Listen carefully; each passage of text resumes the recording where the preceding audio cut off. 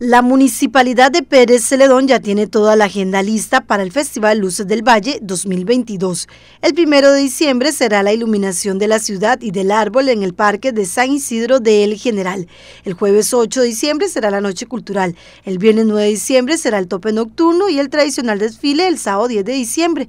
Para el 17 de diciembre será la carrera nocturna y se cierra el viernes 30 de diciembre con la actividad de Quédese en Peseta. Eh, se les está convocando ya para la, respectiva conferencia de prensa, haremos conferencia de prensa también por, por temas ahí, eh, también quizás de austeridad y todos esos detalles. En otros momentos pues habíamos hecho presentaciones un tanto más pomposas, sin embargo bueno, consideramos que, que bien a través de la conferencia de prensa y brindar esos detalles y agradecimiento pues a los patrocinadores eh, instituciones públicas, empresa privada, eh, que hacen posible todas estas actividades, que pues eh, por momentos también se trata de decir que nosotros somos los que gastamos una cantidad importante de dinero, no, somos una parte importante y todo lo demás, el contenido, participación, desfiles, participantes, pues lo realizan las diferentes,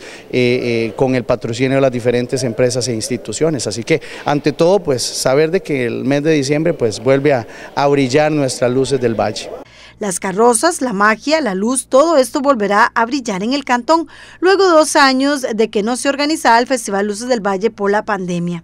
La motivación a la población comenzó con el cambio de imagen. Sumado a lo que es el cambio de imagen, pues saber de que regresan las actividades luego de tantos, varios años de pandemia, pues eh, una actividad que es apreciada por muchísimos, por todos los generaleños de todo el cantón, los que nos visitan, los que nos miran a través de los diferentes medios, la mucha gente que está en Estados Unidos y que añora pues estar en esos días en Pérez Celedón, así que pues... Son muchos los detalles que se tienen por delante, por lo que en el municipio esperan que todo salga de la mejor manera. Pienso que esa, esa espera de, de dos años, de dos ediciones, anteriores que no hemos podido llevar a cabo, pues la gente está ansiosa de,